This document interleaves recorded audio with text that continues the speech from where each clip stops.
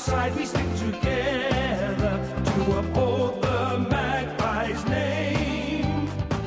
We went to training in 45 and I met uh, Jock McHale and uh, the famous Lou Richards and Phonse Kyne and Gordon. Bobby Rose.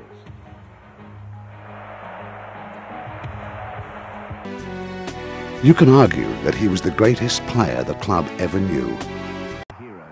Hero to the Collingwood fans.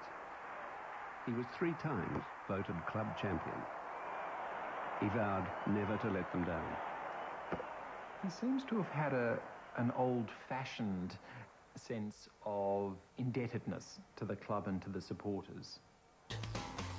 He gained great satisfaction from setting the then downtrodden Hawks on the right path. Premiership years, he was also a leading goal kicker for the league in 1960. He was to win four best and fairest for the club in a 126 match career. Bob his leadership was always inspirational and yet he conducted himself with great dignity and humility.